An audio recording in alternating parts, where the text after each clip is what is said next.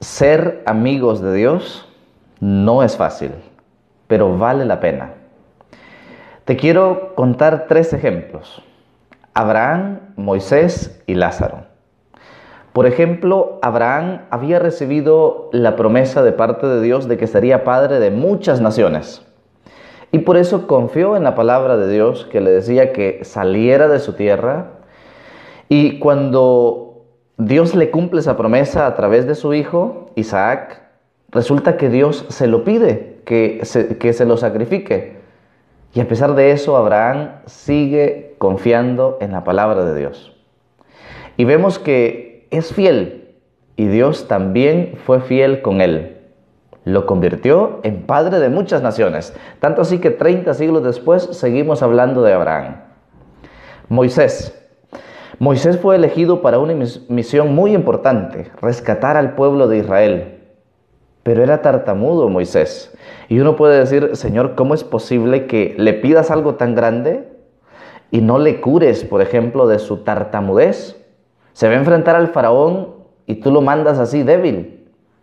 Es más, lo que más me impresiona de Moisés es que él acompaña al pueblo durante todo el desierto, pero no entra a la tierra prometida. ¿Cómo es posible que Dios trate así a sus amigos más cercanos? Y por último, Lázaro. Lázaro, creo yo que es evidente, lo narra el Evangelio de San Juan, la cercanía de Jesús con Lázaro y con toda esta familia en Betania. Pero cuando Lázaro enferma, Jesús no está presente. Marta le envía un mensaje para que vaya rápido y Jesús se tarda dos días en emprender el viaje. Cuando llega ya tenía cuatro días de muerto Lázaro. Y sin embargo, Marta, a pesar de que le costó en su momento, sigue confiando. ¿Qué nos dicen estos tres ejemplos? Fueron tres personas amigas de Dios. Abraham, Moisés y Lázaro. Abraham le costó confiar en Dios, pero Dios cumplió su promesa y lo convirtió en padre de muchas naciones. Moisés tuvo muchas dificultades en el desierto, pero es uno de los pocos personajes que aparece con Jesús en el momento de la transfiguración. No entró a la tierra prometida acá en esta tierra, pero sí entró a la patria celestial. Lázaro no fue curado por parte de Jesús. ¿Por qué Jesús no lo curó de su enfermedad? Porque quería darle algo más grande, la resurrección. Eso es ser amigo de Dios, es confiar en su palabra, es permanecer en su amor, a pesar de que cueste, a pesar de que es difícil.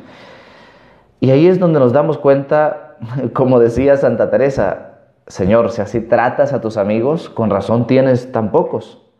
Pero el Evangelio de este día nos recuerda precisamente esa relación importante de nosotros con Dios o de Dios con nosotros. Ya no les llamo siervos, sino amigos. Juan 15 del 9 al 17. No es fácil ser amigo de Dios, como Abraham, como Moisés o como Lázaro. Pero si somos fieles, si perseveramos en su amor, Él cumplirá su promesa y veremos cosas más grandes. Quizá no necesariamente en este mundo como Abraham, Moisés y Lázaro, pero sí en la vida eterna. Ser amigos de Él no es fácil, pero vale la pena. Permanece en su amor. Eso es ser su amigo. Que el Señor te bendiga. En el nombre del Padre, del Hijo y del Espíritu Santo. Amén. Que tengas un excelente día. Soy el Padre Santo.